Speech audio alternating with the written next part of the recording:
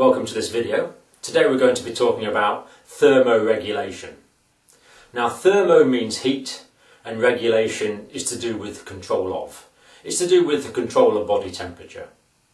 Because body temperature must be very finely controlled. If body temperature drops down too much, very soon we have problems. Hypothermia, low body temperature. If body temperature rises, very soon we get into problems. Hyperthermia. We need a fine regulation of body temperature. We are homeothermic organisms. Now, why do you think it is that body temperature needs to be so finely regulated? Why can't we work fine with a temperature of 45 degrees centigrade or 25 degrees centigrade? Well, you probably realised that the key thing is that enzymes are temperature specific.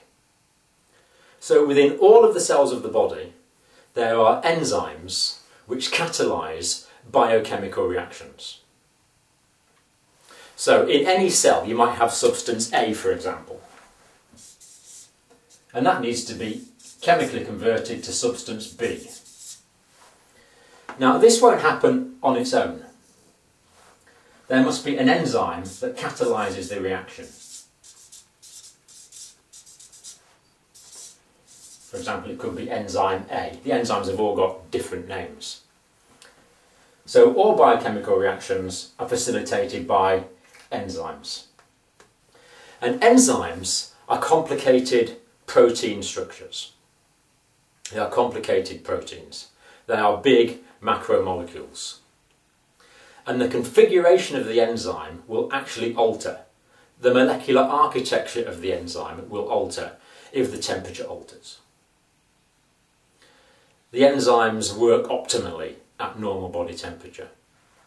So the shape of the enzymes must be maintained in order to maintain their activity, their functionality. The functionality of the enzymes must be maintained to maintain our biochemistry. If biochemistry is not maintained, then the cells will not work properly. The tissues which the cells compose will not function properly, and organs and systems of the body will not function properly.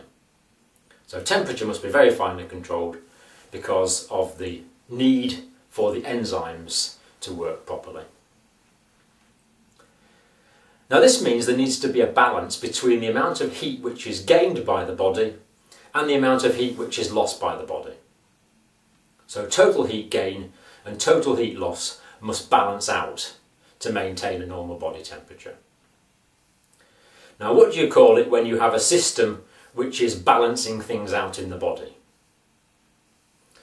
Well, homeo means the same, stasis means the state of things. So this is an example of a homeostatic mechanism. Homeostasis. You remember other examples of homeostasis, I'm sure. For example, the pH in the blood needs to be accurately controlled. Again, that is to maintain the functionality of the enzymes the amount of sugar in the blood needs to be homeostatically controlled so that the cells have enough nutrients to maintain metabolic processes. So body temperature, thermoregulation, is another example of homeostasis. It is a parameter which must be finely controlled in order to maintain physiological health.